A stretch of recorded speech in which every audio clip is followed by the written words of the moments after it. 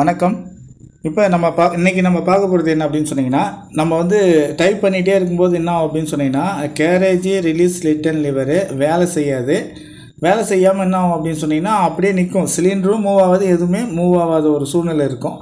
அப்போ எப்படி வந்து எந்தனால இந்த ஃபால்ட்டு வருது அப்படிங்கிற விஷயத்த இன்றைக்கி நம்ம பார்க்கலாம். இப்போ நம்ம பார்த்துட்டு இருக்கிறது பார்த்திங்கன்னா அந்த நாப் என்ன ஆகும் அப்படின்னு சொன்னிங்கன்னா அந்த நாப் தான் வந்து சிலிண்டரை வந்து மூவ் பண்ணுறதுக்காக யூஸ் பண்ணுறது அதாவது சிலிண்டர் ரோலில் இருக்கக்கூடிய அந்த லைன் ஸ்பேஸ் இது இதை வந்து நம்ம அதெல்லாம் மாற்றக்கூடியது. அது ஒர்க்காகவே ஆகலை. அப்படி நின்றுச்சு இப்போ வந்து பார்த்திங்கன்னா இது மாதிரி ரிட்டர்ன் வரணும். அது போயிட்டு போயிட்டு ரிட்டர்ன் வரணும். ஆனால் வரலை. அதை என்ன பண்ணணும் அப்படின்னு சொன்னிங்கன்னா கேரேஜில் இருக்கக்கூடிய லெஃப்டில் இருக்கக்கூடிய தம்பில் ரைட்டில் இருக்கக்கூடிய தம்பில் ரெண்டுத்தையுமே கைட்டிட்டோம் கைட்டிட்டு அப்புறமா அந்த சிலிண்டரை வந்து நம்ம ரிமூவ் பண்ணிடலாம். ரிமூவ் பண்ணி எடுத்துட்டோங்க அப்படின்னு சொன்னீங்கன்னா இப்போ லெஃப்ட் சைடில் ரைட் சைடில் இருக்கக்கூடிய லாக்கை ரிலீஸ் பண்ணிவிட்டு கேரேஜை வெளியே எடுங்க.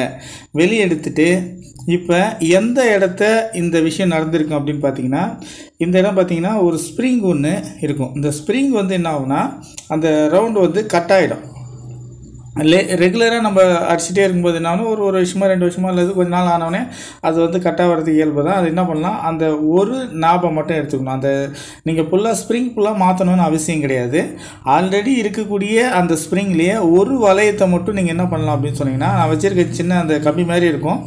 ஊக்கு மாதிரி வளையம் இருக்கும். அது இருந்தால் உங்களுக்கு ஈஸியாக அதை மாட்டலாம் அதை எடுத்து.